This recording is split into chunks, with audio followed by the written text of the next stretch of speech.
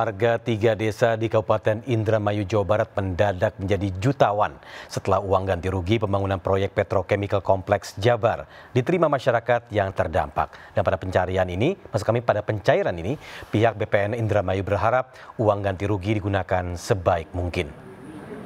Kebahagiaan meliputi para warga yang terdampak pembangunan proyek petrochemical kompleks Jabar di Indramayu. Mereka menerima uang ganti rugi senilai ratusan juta rupiah hingga 3 miliar per orang. Uang ganti rugi ini meliputi areal persawahan milik warga termasuk tanaman dan bangunan yang turut terdampak pembangunan mega proyek Pertamina ini.